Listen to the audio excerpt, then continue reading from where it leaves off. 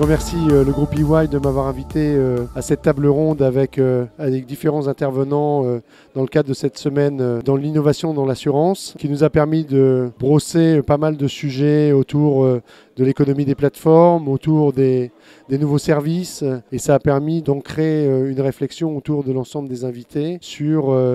la nouvelle génération euh, des assureurs euh, des 10 à 15 prochaines années, euh, qui devra de plus en plus se poser la question du passage du curatif au préventif en abordant les nouveaux sujets du secteur de l'assurance. Et je pense que c'est des sujets extrêmement intéressants que nous avons partagés à la fois entre deux clients Chubb, AXA et deux fournisseurs que nous sommes technologiques, le groupe Facebook et le groupe Microsoft.